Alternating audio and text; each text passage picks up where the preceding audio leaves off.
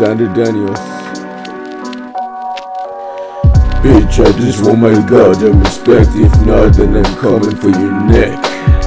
Now, maybe I'll go for your head, and every single friend of yours is dead.